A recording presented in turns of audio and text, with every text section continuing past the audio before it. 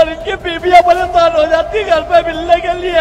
हम कार चलाने वाले लोग हम हम कार चलाने वाले लोग तो रात को घर जाके सोते हैं ये पत्र पत्र दिन घर पहुँचते हैं इनके माँ बाप इनकी जन्म देने वाली माँ और बच्चों का मुझे क्या हालत होती है। राष्ट्रपति द्रौपदी मुर्मू की स्वीकृति मिलने के बाद भारतीय न्याय संहिता 2023 अब कानून बन चुका है। आने वाले समय में इसके नए प्रावधान इंडियन पीनल कोड यानी आईपीसी के पुराने कानूनों की जगह ले लेंगे। लेकिन इसके एक प्रावधान को लेकर अभी से विरोध शुरू हो गया है। इस विरोध का कारण है हिट एंड रन का नया कानून।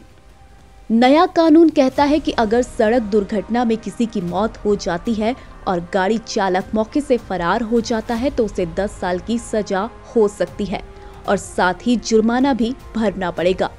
वहीं कई राज्यों में ट्रक चालक इस नए कानून का विरोध कर रहे हैं। कुछ जगहों से चक्का जाम, अराजकता और पुलिस की ओर से हल्के बल का प्रयोग भी किया जा रहा है। ऐसे में यह जानना ज़रूरी है कि हिट एंड रन को लेकर नया कानून क्या कहता है। पुराना कानून क्या था? इसे लेकर विरोध क्यों हो रहा है? और ट्रक ड्राइवरों का यह विरोध कितना जायज़ है? बता दें, अगर किसी गाड़ी की टक्कर के बाद ड्राइवर मौके से फरार हो जाता है तो उन मामलों को हिट एंड रन केस माना जाता है। हिट एंड रन मामलों में कई बार घायल शख्स को अगर समय रहते अस्पताल पहुँचाने या प्राथमिक इलाज मिलने पर बचाया भी जा सकता है। पुराने कानून के मुताबिक हिट एंड रन केस में दो साल की सजा का प्रावधान था और जमानत भी मिल जाती थी। क्या कहता है नया नियम?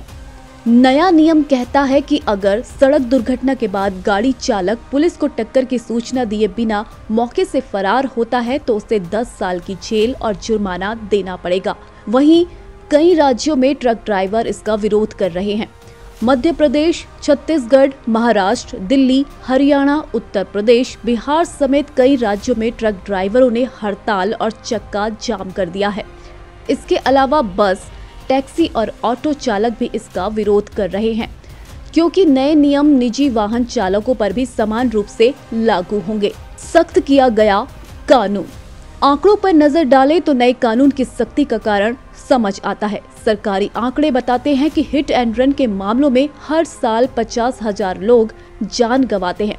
लेकिन विरोध करने वाले ड्राइवरों का तर्क है कि टक्कर के बाद अगर वे भागते हैं तो उन्हें नए कानून के तहत सख्त सजा मिलेगी। और अगर वे रुकते हैं तो मौके पर मौजूद भीड़ उन पर हमला कर सकती है।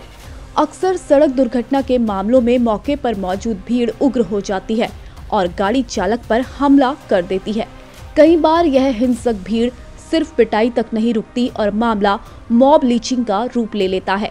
हालाँकि नए कानून में ड्राइवरों को कुछ मामलों में राहत भी मिलेगी। अगर गाड़ी से टकराने वाला शख्स गलत तरीके से सड़क को पार करता है या गाड़ी के सामने आ जाता है तो ड्राइवर को अधिकतम पाँच साल की सजा और जुर्माना भरना पड़ेगा।